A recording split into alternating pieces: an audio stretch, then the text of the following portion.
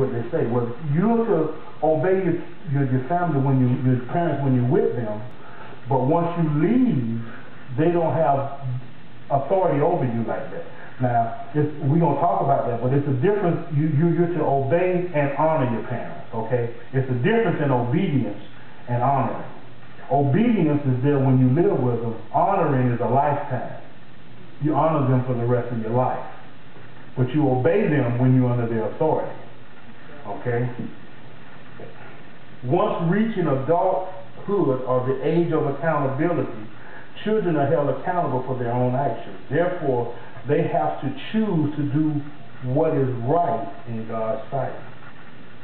Now, although God established the parent's authority, that doesn't mean that the children are inferior to their parents. Parents are not to treat their children as though they, the children, are inferior to them. And I've seen that. Parents think that they're better than their children. I've also seen the opposite of that because we came up in, in, in, a, in an era, I, I remember uh, my dad, for instance, he would make sure I had something to eat before he ate. You know, we was in, we was doing rough times, he would make sure I was taken care of before him. But nowadays, it's not like that. The, the, you'll see parents coming out and they looking all clean and and, and, and, and, and they living good in the world while their child at home hungry, in filth, don't have good clean clothes to put on.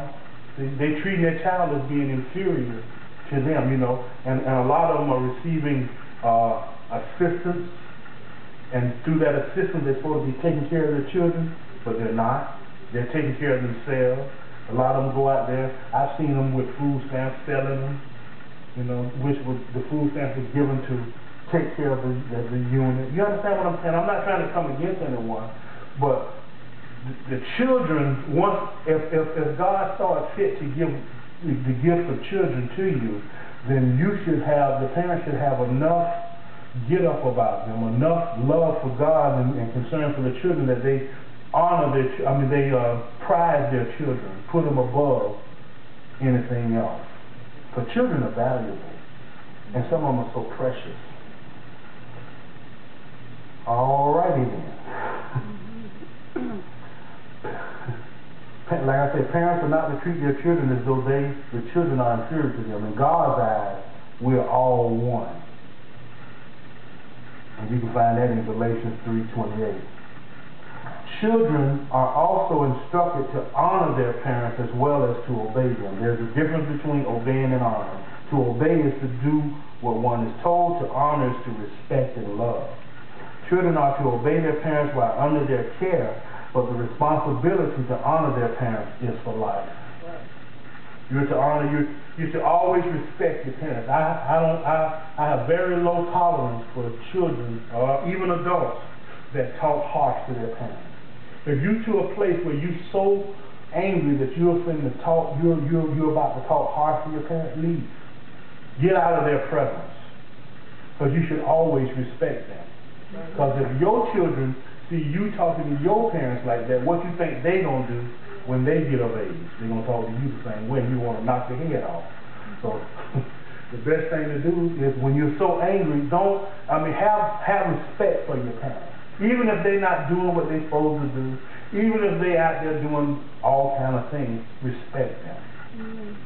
Don't don't don't don't come against them and talk down to them and belittle them in front of people. I've seen that happen. I've seen what parents, where children get their parents in front of friends and belittle them, whether because some because maybe the parents on drugs and they talk down to them. Why you like this? Why you doing all this? Oh yeah yeah yeah. Okay, that may be true, but that's not the place to do that.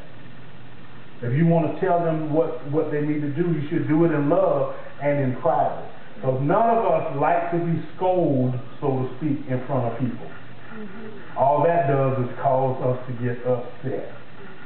And, and parents should always, children should always honor their parents. Mark your books. We're going to stop here, and we'll pick it up next week. Mm -hmm. Hallelujah.